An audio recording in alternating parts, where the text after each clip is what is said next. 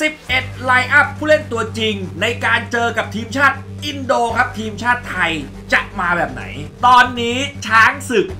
U19 ก็ต้องฝากความหวังกับเอเมสันเปเรราคือเรื่องจริงก็เขาเป็น head coach ก็ต้องรับผิดชอบธนกิจโชดเมืองปักจะเป็น key man สำหรับเกมนัดชิงคนนี้แหละเป็นคนคุมจังหวะเกมรุกเออแล้วคุมจังหวะให้ได้เปรียบ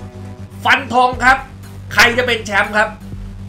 สวัสดีครับ สวัสดีครับ ขอต้อนรับทุกท่านเข้าสู่แตงโมลงปีพงษ์ยิ่งวันนี้นะครับ อยู่กับโค้ชเต้ยกับแตงโมเช่นเคยนะครับพี่เต้ยสวัสดีครับ สวัสดีครับสำหรับวันนี้นะครับเรามาคุยกันถึงรอบชิงชนะเลิศนะครับในฟุตบอลชิงแชมป์อาเซียน U19 นั่นเองนะครับครับทีมชาติไทย ชิงชนะเลิศพบกับอินโดนีเซียน่าสนใจมาตามนัด เขาเรียกว่ามาตามนัดนะ ไม่ผิดพลาด เออ ตอนแรกเนี่ย ถ้าพูดถึงก่อนจะเริ่มทัวร์นาเมนต์นี้เนี่ย มันก็คงไม่มีใครคิดนะว่า แบบเฮ้ยทีมชาติไทยจะฝ่าฟันมาในรูปแบบนี้ แล้วอินโดมันก็จะมาเจอกันในรอบชิงแบบนี้ คือก็ต้องบอกว่าเราเนี่ยด้วยมาตรฐานของเราในครับ ระดับอาเซียนเนี่ยนะมันเข้าชิงตลอด ครับ แต่ทีเนี้ยมันมีออสเตรเลียมาบวกเนี่ยออสเตรเลียเป็นตัวแปรอ่าที่จะทำให้เราจะเข้าชิงหรือไม่เข้าชิง เพราะว่าเป็นทีมที่เขาเรียกว่าค่อนข้างมีชื่อเสียงมากกว่าเรา อ่า มันอาจจะมาตัดในรอบรองก่อนไหม อืมก็ เป็นอย่างนั้นหรือว่าจะไปเจอในรอบชิงใช่ครับคือตอนแรกมันคาดการณ์ไม่ได้ว่าใครจะเป็นที่หนึ่งถูกใครจะเป็นที่สองนะครับใช่ครับและถ้าถามถึงความยากที่ตอนนี้เนี่ยเอ่อทีมชาติไทยของเราในรุ่นนี้เนี่ยนะฮะอืมเดินทางมาถึงรอบชิงชนะเลิศถ้าครับภาพรวมพี่เต้ยว่าเป็นไงถ้าความยากความง่ายภาอะไรพรเนี่วยมตอนนี้ก็คือสอบการภาคผ่านแล้วเออตามมาตรฐานแล้วครับเนี่ยสอบ final แล้วอ่าเดี๋ยวมาสอบกันในรอบอืมชิงคือเจอเจ้าภาพเนี่ยแหละครับ แต่ว่าตอนแรกเนี่ยต้องบอกว่ามันไม่ได้ออกทรงแบบนี้สักเท่าไหร่นะอืมเพราะว่าจริง ๆ แล้วเนี่ยแฟนบอลไทยเนี่ยก็ให้การสนับสนุนดีอยู่แล้วแหละครับสำหรับทีมชาติไทยนะครับเพียงแต่ว่าคืออยากจะให้เล่นให้มันถูกอกอืมถูกใจตั้งแต่นัดแรกแต่ฟุตบอลมันไม่ใช่แบบนั้นไงตอนเนี้ยถูกต้องครับถูกไหมฮะนัดแรกๆเนี่ยปรับตัวตื่นครับเต้นแน่นอนเพราะทีมชุดเนี้ยเป็นทีมที่ไม่ค่อยได้มีใครได้เห็นครับแล้วมาเล่นรายการเป็นรายการเมเจอร์แรกอืม เป็นรายการที่ว่าเปิดตัวเลยแล้วกันครับเปิดตัวเปิดซิงแบบจริงจังที่แข่งขันนักกีฬาก็มีความตื่นเต้นแน่นอน เห็นอืมได้ชัดจากการเจอสิงคโปร์ในนัดแรกครับแล้วเล่นไปก็เขาเรียกว่าติดขัดมันอาจจะกดดันตัวเองอะ่ะมันครับไม่มีอะไรพอกดดันตัวเองก็ยังดีที่ว่าโดนสิงคโปร์นำไปก่อนแต่เอาตัวรอดกลับมานำสองหนึ่งและชนะไปได้อืมตอนนี้ก็เรียกว่าผ่านประสบการณ์ในการเล่นนัดแรกอย่างเป็นทางการแล้วอืมครับนะฮะคือเรียกง่ายๆว่าบางคนเนี่ยมัน จากจังหวะที่ควรจะยิงมันก็ไม่ยิง จากจังหวะที่ควรจะเลี้ยง มันก็ไม่กล้าไป เขาเรียกว่าประสบการณ์ระดับเกมนานาชาติมันยังไม่มีไง ครับ พอมันได้เล่นแล้ว เออ อ๋อสำคัญมันเหมือนเก็บนะตัวนานไงมันเป็นปีมันพอเล่นแล้วมันปลดล็อกอะมันค่อยๆคลายออกไปครับอืมแล้วโค้ชเนี่ยอย่างเอเวอร์ชันเปเรราเขาก็ออกมาพูดเหมือนกันนะว่า ก่อนที่จะมาคุมทีมชุดเนี้ย จริง ๆเขาอยู่บราซิลนะอ่าคือกลับบ้านแล้วก็ไม่รู้อะไรเลยไง ครับ คือกลับบ้านไปแล้วครับแล้วก็เพิ่งมาเหมือนกันนะครับ แล้วก็มาได้ร่วมฝึกซ้อม ประมาณนึงอะอะอืมนะครับ ก็เหมือนค่อยๆ จูนไปเรื่อยๆอะแต่ละครับเกมแต่ละวันแต่ละนัดเนี่ยครับ อืมนะแต่ว่าทำผลงานผมว่าเอ่อมันอาจจะดูกระเตื้องมาเครื่องร้อนช้านะครับอืมแต่สุดท้ายแล้วเนี่ยมันพอเห็นทรงนะ พอจับทางได้เฮ้ยมันก็ เกมรับเหนียวแน่นอยู่นะคือเขาเข้าใจค่อย ๆ เข้าใจนักเตะแล้วกัน ค่อย ๆ รู้ว่าแต่ละคนมีจุดเด่นจุดด้อยยังไง จะปรับครับให้เล่นร่วมกันยังไง ค่อยๆจูนนัดที่หนึ่งนัดที่สองนัดที่สามจนมารอบรองชนะเลิศครับแล้วก็ผ่านเข้าชิงตรงเนี้ยมันน่าสนใจครับ ซึ่งตัวนักบอลเองก็ต้องปรับด้วยไม่ใช่แค่โค้ชครับพอนักบอลเองก็ตอนแรกคาดว่าไม่น่าจะใช่ระบบนี้ด้วยซ้ำอันะนนี้ผมต้องไปสืบมาแต่คิดว่าเออเด็กก็คงต้องปรับตัว โค้ดเรื่องปกตินะ เปลี่ยนโค้ดต้องเปลี่ยนอ่าระบบอยู่วิธีแล้วการถึงระบบเดิมก็เปลี่ยนวิธีการเล่นเออมันก็ต้องเปลี่ยนแน่นอนเนี่ยมันมันก็ต้องปรับกันทั้งสองฝ่ายอะผู้เล่นกับโค้ดค่อยๆทำงานร่วมกันจนไปด้วยกันได้เออแต่พอเดินทางมาถึงในรอบชิงชนะเลิศ ตอนเนี้ยสิ่งที่เห็นได้ชัดว่าตั้งแต่นัดแรกอะอะครับที่เขาจูนมาเนี่ยกับนัดที่ชนะออสเตรเลียมาครับพี่เต้ยเห็นความแตกต่างคืออะไร คือนัดแรกนัดสองนัดสามในรอบแรกเลยนะก็ต้องอืมบอกว่ามันเหมือนอ่า หาตัวเซตตัวให้ลงตัวอยู่เนี่ยแล้วก็เซตระบบให้มันเข้าที่เข้าทาง แต่นัดที่สี่ที่รอบรองเนี่ยเป็นเออการเขาเรียกว่าเจอของจริงแล้วคือเจอออสเตรเลียเนี่ยครับจะมามัว test เหมือนเดิมไม่ได้แล้วเพราะฉะนั้นเขาพยายามหาทางออกที่ดีที่สุด แล้วก็ทำได้ดีในการเล่นไม่ว่าจะเป็นแท็กติกก็ตาม หรือวิธีการเล่นของนักเตะก็เปลี่ยนไปโดยชัดเจนเพราะมันเปลี่ยนลูกกลางอากาศแทบไม่โยนเลย เออมันมันก็จริง ๆ แล้วมันก็เปลี่ยนเยอะเลยนะเปลี่ยนเยอะเออแต่ว่าบอลเนี่ยสามสี่ห้านัดมันเริ่มเห็นแล้วมันเริ่มแก้กันได้ครับใช่ไหม แต่มันก็มีเรื่องของสภาพร่างกายแต่มันโชคดีที่ว่าวัยหนุ่มไงมันยังหนุ่มไงมันยังเออ มันยังโอเคอยู่ แต่วิธีการเล่นจะเห็นเลยการเล่นบอลจังหวะเดียวจะมีเยอะขึ้นครับการเล่นบอลอ่าเขาเรียกบล็อกทูบล็อกหรือการชิ่งกันใกล้ ๆ แล้วไปต่อเนี่ยมีเยอะจะไม่แทงยาวจะไม่โยนลึกตลอดแล้วจะเปลี่ยนวิธีนอกจากตอนเหลือ 10 คนที่ว่าต้องโยนยาว เพราะว่าต้องให้บอลไปข้างหน้าแล้วเพื่อไปดันไปใช้ศูนย์หน้าตัวเดียวที่ไปกดดันเขาอืมเออเพราะฉะนั้นแล้วเนี่ยผมว่ามันถ้าถ้าพูดกันแบบแฟร์ๆถ้ามีเวลาให้กับเอเมอร์สันเปเรล่า มันอาจจะได้เห็นของดีสไตล์บราซิลที่เน้นเกมรับปะมีแน่นอนก็เดี๋ยวแข่งแล้วไงเดือนกันยายนก็แข่งแล้วเออแต่ถ้ามันออกทรงแบบทรงนัดหนึ่งนัดสองนัดสามอะอันนั้นก็แล้วแต่ผู้มีอำนาจรับผิดชอบว่าจะตัดสินใจยังไงครับ ครับ มันก็จะตัวใครตัวมันนิดนึงครันะบเออเพราะเป็นว่าเรื่องปกติครับ ตอนนี้ช้างศึก U19 ก็ต้องฝากความหวังกับเอเมอร์สันเปเรล่าเรื่องจริงก็เขาเป็น head coach ก็ต้องรับผิดชอบอ่าแล้วแล้วตอนเนี้ยคุณอยู่แบบ คุณคุณ control ได้หมดเลย อืม คุณมีสิทธิ์โชว์เลย เขาเรียกว่าตัดสินใจเบ็ดเสร็จเด็ดขาดได้ เออนะครับ เพราะว่าอยู่ตรงนั้นเนี่ยก็น่าจะเป็นคนที่ in charge ที่สุดแล้วแหละ ต้องต้องใช่แล้วแหละอืมเออ แต่ว่ามันก็พิสูจน์ไงว่าเขาเขาได้ไหม แต่อืม ผมว่าจริงๆ แล้วมีศักยภาพแต่ว่าเวลาอาจจะพอดูตรงเนี้ยมันมันเห็นเวลาเขาแก้แล้วมันเฮ้ยมันใช่เว้ย มันก็เปลี่ยนเร็วอะเออ มันเปลี่ยนเร็ว ปุ๊บมีปัญหาปุ๊บเปลี่ยนแบบไม่ไม่รอเกิน 5 นาทีเขาแก้ไขทันที แต่กลัวอย่างเดียว อืม กลัวมันกลับไปเล่นเหมือนเดิมนัดแรกโยนอย่างเดียวอะ ก็ต้องดูเพราะว่ารูปแบบวิธีการเล่นเนี่ย ถ้าเปลี่ยนทุกนัดเปลี่ยนเยอะๆเนี่ย ถือว่านักเตะโค้ชนี่เจ๋งนะ เพราะอะไรรู้ป่ะมันปรับตัวได้ทันแปลว่านักเตะมีคุณภาพเข้าใจวิธีการอืมเพราะว่าส่วนใหญ่เนี่ยเขาจะไม่ปรับเยอะเกิน แต่ว่าจะคงโครงสร้างเดิมไว้แต่มีความยืดหยุ่นอืมเพราะถ้าคุณเปลี่ยนแนวทางการเล่นไปเลยคนละเรื่องเนี่ยมันโอ้โหเป็นสิ่งที่อืมค่อนข้างน่าสนใจครับ แต่ว่าอย่างเจอออสเตรเลียที่เราชนะมาได้เนี่ยวิธีการเล่นเพราะหนึ่งออสเตรเลียเขาบุกเรา เราไม่เคยเจอทีมที่บุกเราอย่างออสเตรเลียมาก่อนอืมสองตัวบีใหบญ่บีบบีบตัวใหญ่เราไม่กล้าโยนเยอะโยนเยอะเขาหม่งเขาเก็บตลอดก็ต้องเออเปลี่ยนวิธีการเล่นกับพื้นเออเล่นกับพื้นได้ดีมันก็เห็นภาพอ่าสามคือเราเล่นร่วมกันหรือช่วยกันดีอืมไม่เคยเห็นนี้มาก่อน ที่บอกว่าต้องช่วยกันมากขึ้นนี่ก็ช่วยกันมากขึ้นทำให้ออสเตรเลียมันไม่สามารถเจาะเราได้อืมครับนะฮะอะก็ว่ากันไปตามครับนั้นนะครับ เอาอย่างนี้ดีกว่าอืม ก่อนเกมเป็นธรรมเนียมของแตงโมลงปียพงษ์ยิงอยู่แล้วอ่านะฮะยิพี่นดีเตยครัฮะบเพราะฉะนั้นครับ 11 ไลน์อัพผู้เล่นตัวจริงในการเจอกับทีมชาติอินโดครับทีมชาติไทยจะมาแบบไหนครับอ่านี่เดี๋ยวลองมาดูกันนะฮะมาคาดการณ์กันเล่นๆคาดการณ์อ่านะครับเพราะว่าชุดนี้เนี่ยต้องบอกว่า เฮ้ย ตอนนี้เริ่มเริ่มคาดได้แล้วผมว่านะครับอะเห็นโครงสร้างแล้วอ่าอย่างตอนนี้เนี่ยมันอาจจะเล่นหลัง3เนี่ยสิ่งที่ชัดที่สุดอยู่ครับแล้วนะครับ แต่ว่าขึ้นมาเนี่ยอาจจะเป็น 3 5 2 หรือว่าอาจจะเป็น 3 4 1 2 หรือว่า4อ่า3 4 3 มันก็ปรับมันหมุนในเรื่องของมันระบยืบดกาอรยู่เล่นในในสนามได้อ่ามันยืดหยุ่นในสนามนะครับอะแต่ว่าวางเป็นแพทเทิร์นแบบนี้ครับที่เขาวางมาก่อนครับแล้วกันนะครับ อย่างตำแหน่งแรกเนี่ยให้พี่เต้ยพูดเลยครับเป็นไงฮะ ประตูก่อนแล้วกันนะครับตั้งครัแต่บแรกก็กิติพงศ์เนี่ยครับก็บอกเลยว่า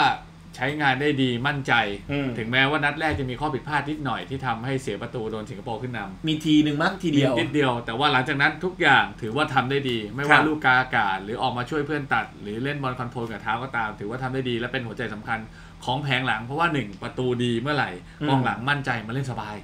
มันไม่ต้องมาว่าวงประตูจะเสียแล้วไม่จะอะไรมันทำครับให้กองหลังเนี่ย มันไม่ต้องคอยมองข้างหลังมารู้แล้วว่าส่งและเคลื่อนที่รับบอลกันได้เลย แต่ผมเห็นนะว่านัดเจอออสเตรเลียมั่นใจเลย อันนั้นดีมากเออโดยเฉพาะการออกมาตัดลูกกาอากาศเนี่ยก่อนเออ ที่ออสเตรเลียจะเข้าถึงเนี่ยเขาออกมาชนเขาออกมาบู๊ได้เลย เออ แล้วกองหลังเหมือนว่ามั่นใจแล้ว มันสบายใจเออที่สบายใจอกแล้วอ่าคือกูพลาดมีคนลองอะเรื่องจริงใช่ไหมอะอ่า เพราะว่าทุกคนมันพลาดได้ ถูกต้องครับแต่ว่าพลาดแล้วใครช่วย ถูกต้องมันอุ่นใจอะ เออเออ นะครับอะ แต่แนวรับเนี่ยสามคนไม่คาดว่าจะมีการเปลี่ยนแปลงอยู่แล้วเนาะโอ้แนวรับเนี่ยก็คิดว่าต้องคงอยู่ชุดที่ชนะออสเตรเลียมาครับสามคนนี้ก็ดีครับ โดยเฉพาะสิงหาเนี่ยเป็นหัวใจสำคัญของทางดีเซนเตอร์สามตัวเพราะเขาจะอยู่ตรงกลางเออแล้วเขาเป็นคนที่นิ่งที่สุดเขาจะประคองทั้งทางซ้ายและขวา ไม่ว่าจะเป็นเจษพัฒน์ก็ตาม ไม่ว่าจะเป็นจิรพลก็ตามเนี่ยจิรพลอยู่ขวาเจษพัฒน์อยู่ซ้ายอย่างเงี้ยอืมสิงหาอยู่ตรงกลางเขาจะคอยไปพยุง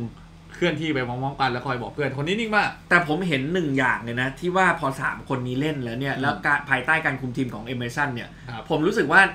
แนวรับไทยถ้าบริหารจัดการดีๆ ฝึกกันดีๆ มันเหนียวอยู่นะ เหนียว แต่ต้องระวังจังหวะเดียว จังหวะการชงชาง ฟวล์ถูกต้องการฟาวล์เนี่ยหรือการแย่งบอลหรือการเข้าบอลเนี่ย ส่วนใหญ่เนี่ยจะโดนฟาวล์เยอะ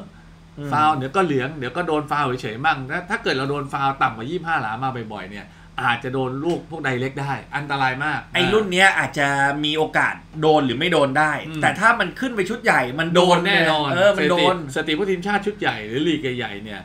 สามสี่ครั้งเมื่อไหร่โดนโดนติดๆนะโดนเป็นหนึ่งประตูตลอดครับเพราะฉะนั้นต้องระวังตรงนี้ให้ดีครับเออ นะฮะ ก็เนี่ยแหละ แต่ผมไม่ค่อยเป็นห่วงแผงหลัง เพราะว่าแผงหลังรู้สึกว่าถือว่า นิ่งนิ่งนิ่งอยู่ เอเอออใช้ได้จะอยู่ จะมีพลาดก็แค่ error shot จริง ๆ อะ error หนึ่งโดนกดดันมากไปแล้วโดนอ่าปลุกมากไปอย่างเงี้ยต้อง safe เรื่องการเข้าปะทะอาจจะติดตัวก่อนเขาเรียกว่าชิดไม่ให้ turn ชิดครับไม่ให้จ่าย เพื่อดันบอลเขากลับไปแดนเขาครับ แต่ถ้าชิดแล้วเขา turn ได้ก็ชิดเรียบร้อยชิดเลยนะเรียชิดบร้อยเลยเลยนะเอออะมาตรงกลางกันบ้างดีกว่าครับตรงนี้เนี่ยที่เราจะขาดเอ่อ midfield ของเราไปนะครับครับ หมายเลข6นะครับทางด้านของอ่ารพีพัฒน์ครับนะครับซึ่งซึ่งเจ้าตัวก็ออกมาเปิดเผยแหละว่ามันเป็นจังหวะที่แบบเอ่อเพราะอะไรโดนสองเหลืองอ่านนะฮะ อะแต่ว่าตอนนี้ก็ต้องหาคนมาแทนนะครัครับบถ้าดูตรงกลางรับแล้วหนึ่งคนไม่เปลี่ยนร้อยเปอร์เซ็นต์นะผมว่า ตัวนี้หัวใจอีกหนึ่งคนเลยครันะบของ midfield ตัวรับแล้วเชื่อมเกมรุกด้วยครับอ่าพงศกรนะฮะคนนี้นี่ดีจริง ๆ คือเราเห็นแล้วแหละว่าแบบ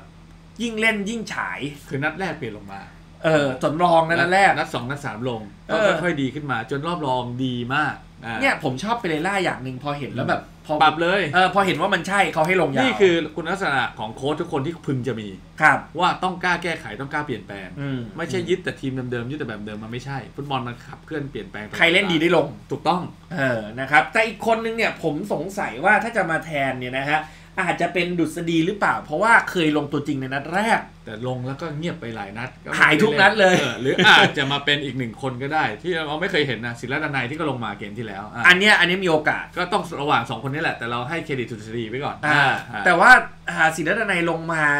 ก็อาจโอเคแหละไม่อาจจะไม่ได้เสียอะไรที่ชัดเจน แต่มันก็ยังไม่ได้มีอะไรที่บวกแบบโหต้องศิลดนัยไงเพราะว่ามันเขาเรียกว่าตัวก็เหลือน้อยครับนั้นแล้วก็มันก็ ไม่ได้มีภาพที่ชัด เพราะว่าทั้งทีมมันช่วยกันรับอยู่ถูกต้องอาจมันจะดูอ่าหรือจีรพงษ์พึงวีรบงษ์หมายเลขสิบสี่ก็เป็นไปได้ แต่นั้นมันออกลุกมากแต่คนนะนั้นเขาออกไปข้างบนเลยอ่าออกออกขยับซ้ายขยับขวาได้ด้วย ก็อยู่ที่โค้ชจะเล่นยังไงถูกต้องใช่ป่ะล่ะ แต่ธรรมชาตินัดชิงเจออินโดนีเซีย มันรับอยู่แล้วเซฟไว้ก่อน เหมือนเออเจอออสเตรเลีย10นาทีแรกต้องเซฟของแต่ละครึ่ง5นาทีไทายต้องเซฟ ก็เนี่ยอะเลยมองดูสดีว่าส่วนมากจะเน้นรับมาก็เป็นไปได้เดี๋ยวก็รอดูเพราะว่าเออไม่ได้ลงเลยคาดเดาได้ยากเหมือนกันนะเออตรงนี้เดายากนะครับ ขณะที่ซ้ายขวานะฮะโอ้ซ้ายนขวาอนมาเลยสองนอนคมา โอ้โห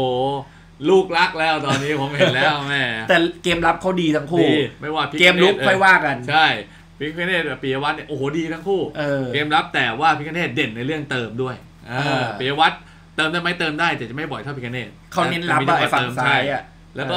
เกมของเราไม่ค่อยได้ขึ้นฝั่งซ้ายเยอะเท่าฝั่งขวาด้วย แต่ว่าอย่าลืมว่าเจอเจอองีอยสบเตไปรหน่เลียคือโค้ชเขากลัวไอ้มาคัสเออใช่ยูเพนิราะสไอ้นั้นมันจี้มันลากได้เออก็เลยไม่ขึ้นเลย ก็แพ็คเลยไงแพ็คแน่นไว้ก่อนเออก็ขึ้นขวาอย่างเดียว ขวาก็ลุยมันเลย แต่คราวเนี้ยพิคเนตอาจจะอินโดอาจจะเห็นก็ได้ว่าเฮ้ยมาบุกเราเยอะเป็นไปได้ก็คือถ้าเกิด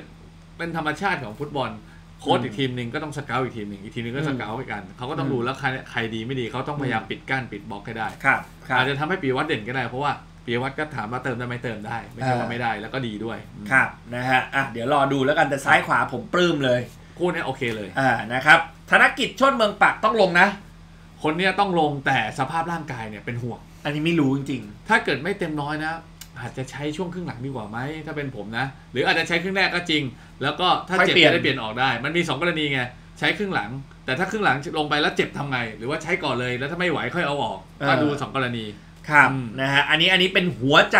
ครับของทีมชาติไทยนะฮะครับธนกิจโชดเมืองปักจะเป็นคีย์แมนสำหรับเกมนัดชิง คนนี้แหละเป็นคนคุมจังหวะเกมลุกเออแล้วคนจังหวะให้ได้เปรียบครับจังหวะจังหวะเราคลองบอลคลองบอลปึ้งเปลี่ยนจังหวะเปลี่ยนเลยอืมหรือบางทีแย่งบอลได้เร็วเขาส่งส่งต่อให้เรามีโอกาสได้ประตูสูงเลยอืมอืมนะครับอะขณะที่กองหน้าครับครับ ต้องบอกว่าตอนนี้เนี่ยเรื่องความเฉียบคมอาจจะยังไม่ได้มากขนาดนั้นแต่เห็นแววอืมนะฮะแต่มันเรื่องการร่วมเล่นมันหายไปเยอะครับนะครับ หน้าที่จะเป็น 2 คนคู่เดิมไหมฮะ ต้องคู่เดิมครับครับนัดที่แล้วคือทำตามแท็กติกได้ดีสำหรับผม ปิติพงศ์กับเคเลนปิติพงศ์เนี่ยขยัน ขยันเคลื่อนจริงที่เคเลนเนี่ยช่วยในการตันลูกอากาศได้ดีหรือเออบังหน้าลายคือลายกองหลังตัวใหญ่เขาชนได้ดีครับ แต่เคเลนก็บอกแล้วว่า พอเล่นดีเนี่ยกลับไม่ยิงเออพอเล่นไม่ค่อยจะดีกลับยิงเออเราต้องเลือกให้เขาเล่นไม่ดีแต่เขายิงดีกว่าไหมอ่าอ่าถ้ายิงมันก็จบเออที่ดอกแม้เขาแล้วเขาทำหน้าที่ดีแต่มันหมดแรงไงเออมันหมดแล้วก็ต้องเปลี่ยนแล้วโค้ชก็ไม่ ไม่คิดช้าเปลี่ยนเลย ถือว่าโอเคเลยครับอืมแต่เอ้ยทำไมเคเลนหมดเร็วกว่าเพื่อนเลยนะอะอาจจะวิ่งเคลื่อนที่เยอะเพราะเคลื่อนที่เยอะจริงต้องชนกองหลังต้องชนแล้วชนอีกชนแล้วชนอีกมเออนะฮะแต่ว่าผมชอบนะอ่าในเรื่องดีของการเอ่อมีส่วนร่วมในการทำประตู แต่เรื่องของส่วนร่วมในการร่วมเล่นกับเพื่อนเนี่ย ตรงเนี้ยเหมือนกับว่าเขาจังจูนไม่ได้แกนะยังมังเขาเรียกว่าหาจังหวะให้เข้าทำแล้วกันแล้วเล่นโลกเพื่อนสวยๆได้ แกมีจังหวะสปีดนะ แต่แกเออสปีดไม่ใช้บ่อยเออเออต้องรอดูอีกที ครับ เดี๋ยวต้องดูซิว่าจะมาปรับร่วมเล่นกันยังไง เพราะว่าครับนี่นัดสุดท้ายแล้วในนัดจริง ต้องเล่นด้วยกันอีกหลายรายการเพราะฉะนั้นต้องทำมาแหละนัดนี้อืมครับ แต่เห็นแล้วแหละว่าช่วยไล่ดีดีดีครับนะครับขณะที่ปิติพงษ์เนี่ยผมก็ชอบนะขยันดี แต่ว่าอาจจะยังไม่คมเท่าไหร่ใช่ไหมก็ต้องไปปรับตรงนี้จริง ๆ แล้วเกมรุกของเราอะมันขาดเรื่องการ finishing หรือการจบสกอร์ที่ดีอืมเพราะฉะนั้นเนี่ยต้องรีบปรับแล้วจะอืมแก้ไขได้อืมนะครับอะนี่ก็ถือว่า ค่อนข้างที่จะละเอียดเหมือนกันนะครับในเกมของไทยนะครับ นี่ก็คือ 11 line up ที่ครับเราคาดว่าน่าจะเปลี่ยนแปลงไม่เกินสัก 2ตำแหน่งเต็มที่แค่สองครับไม่นะเกิฮะนนี้เพราะว่าตัวหลักๆมันชัดมากถูกต้องนะครับ นอกเหนือจากว่ามีใครบาดเจ็บเพิ่มครับเติมนะฮะขณะที่อินโดนีเซียเนี่ยต้องบอกว่าจริง ๆ แล้วสุดท้ายแล้วเราก็มายังไงก็มาเถอะนะฮะเขาได้แค่ว่าเป็นเจ้าภาพเออแรงเชียร์แรงสนับสนุนมันเยอะครับ เราก็ได้ทดสอบว่าเราเจอ ทีมที่เป็นเจ้าภาพคนมาดูเยอะเจอการอืมกดดันจากแฟนๆเนี่ยเราจะเล่นยังไงเนี่ยน่าสนใจครับ เพราะฉะนั้นทีมชาติไทยครับ เจอกับอินโดนีเซีย ฟันธงครับ ใครจะเป็นแชมป์ครับ ก็ต้องเราสิผ่านสกอร์เป็นไงฮะผ่านออสเตรเลียมาแล้วเนี่ยก็ต้องเป็นเราแล้วแหละผมว่าก็สูสีอะหนึ่งศูนย์หรือก็สองหนึ่งอะเต็มที่จุดโทษไหมแถวๆเนี้ยจุดโทษไหมไม่จุดโทษจบ90แน่นอนผมมั่นใจโอ้โหนะฮะพี่เต้ยบอกว่าจบอ่า90นะฮะแต่ผมมองว่าเกมนี้ยื้อยื้อดเยื้อ นี่คือทีมชาติไทยทวงบัลลังก์แชมป์7ปี